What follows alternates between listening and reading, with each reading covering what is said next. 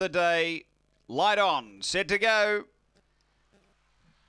Race four at Mount Gambier, Black Spring, $1.35. Racing.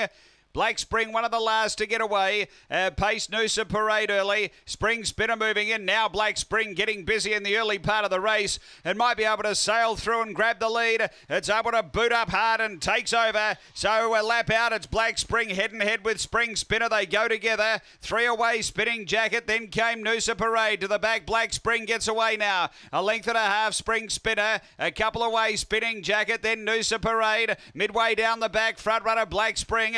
Out by two to Spring Spinner, three away Spinning Jacket. Then came Noosa Parade. They're racing to the turn. Black Spring in front, bit over a length. Spring Spinner sticking. Black Spring in front. Spring Spinner coming. Oh, maybe Black Spring from Spring Spinner and a real closey. Then Spinning Jacket and Noosa Parade. Stand by. After race number four, heads up and down. Spring Spinner was going to go to Black Spring. I don't know if Black Spring got the head down right on the peg, but we'll stand by. After race number four, it's a uh, photo. Number eight hangs on. Does enough here, the fave. Eight first. Black Spring, four second, Spring Spinner. And uh, the time here is 44.06.